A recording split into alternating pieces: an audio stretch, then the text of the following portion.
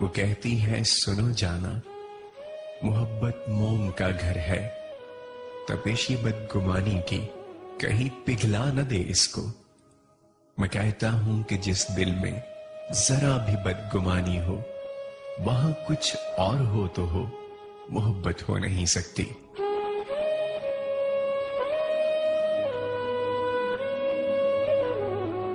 वो कहती है, सदा ऐसे ही क्या तुम मुझको चाहोगे कि मैं इसमें कमी बिल्कुल गवारा कर नहीं सकती?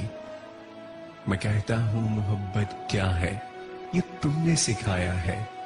मुझे तुमसे मोहब्बत के सिवा कुछ भी नहीं आता।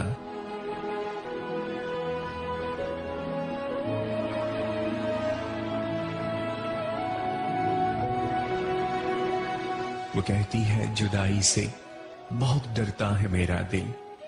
कि खुद को तुमसे हटकर देखना मुमकिन नहीं है अब।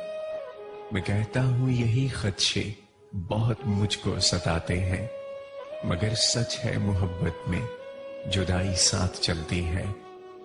वो कहती है, बताओ क्या, मेरे बिन जी सकोगे तुम? मेरी बातें, मेरी यादें, मेरी आँखें भुला दोगे? मैं कहता हूँ, कभी इस बात पर सोचा नहीं मैंने। अगर एक पल को भी सोचो तो साँसें रुकने लगती हैं।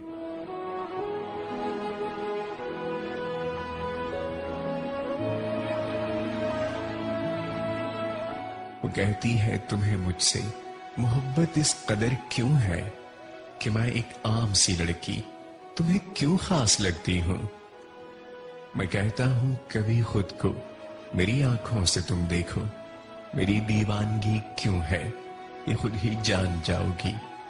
वो कहती है, मुझे वारिफ्तगी से देखते क्यों हो? कि मैं खुद को बहुत ही कीमती महसूस करती हूँ। मैं कहता हूँ, मताए जा, बहुत अनमोल होती है। तुम्हें जब देखता हूँ, ज़िंदगी महसूस करता हूँ।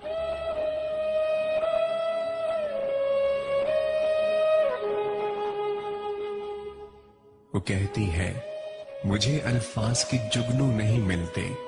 तुम्हें बतला सकूँ दिल में, मेरे कितनी मोहब्बत है। मैं कहता हूँ, मोहब्बत तो निगाहों से छलकती है। तुम्हारी खामोशी मुझसे तुम्हारी बात करती है।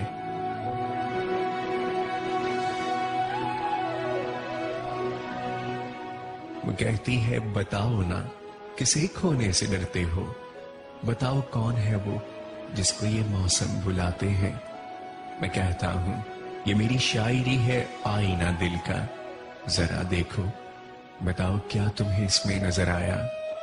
वो कहती है कि आतिफ जी, बहुत बातें बनाते हो, मगर सच है कि ये बातें बहुत ही शाद रखती हैं। मैं कहता हूँ, ये सब बातें फसाने एक बहाना है कि पल कुछ जिंदगानी के तुम्हारे साथ कट जाए, फिर उसके बाद खामोशी का दिलकश रक्स होता है। निगाहें भूलती हैं और लब खामोश रहते हैं। आज क्यों